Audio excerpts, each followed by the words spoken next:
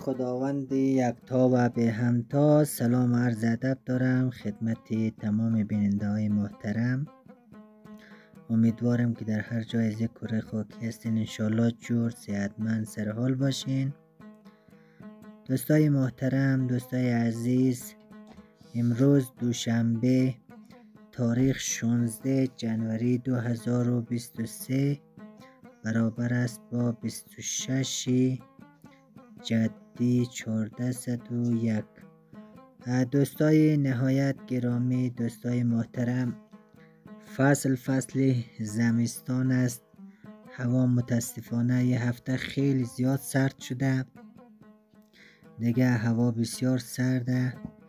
دیگه بعضی از دوستای عزیز دوستای گرامی مخصوصا برادرای شاخوجه لومان درخواست داده بود که شما یک ویدیو از منطقه شاخوجه لومان بگیرین.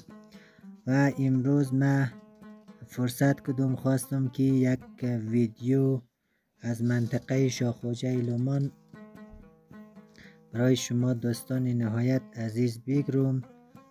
امیدوار هستم که انشالله خوشیم باید و او دوستایی که از وطن خیلی زیاد وقت شده که رفته. بخوایم که یک خاطرات تازه و یک یادگاری بلده از دوستا باشد.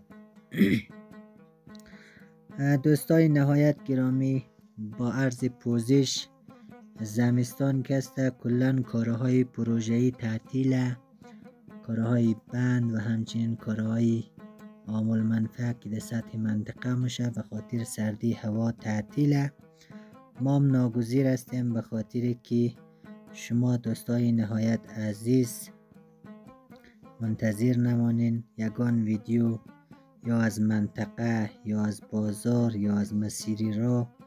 خلاصه بلده شما عزیزان ما یک ویدیو میگریم امیدواریم که مورد پسندشیم قرار بگیره. دوستای محترم کمکاستی است خلاصه یک ماه دو ماهی که کارها تعطیله. دیگه ما کدام برنامه خاص نداریم. دیگه یکان ویدیو از منطقه می‌گیریم و یا از جای جای لومان جاغوری هر جایی که مسیر بخره یا ما بریم از اونجا یک ویدیو می‌گیریم. امیدواریم که ویدیوهای از ما را شما بپسندین و کوتاهی از ما را قبول کنین. دوستای محترم دوستای عزیز همگی شما خوبان را به الله پاک میسپارم. انشالله که در هر جای باشین در هر جای دنیا که هستین موفق شادکام پیروز باشین.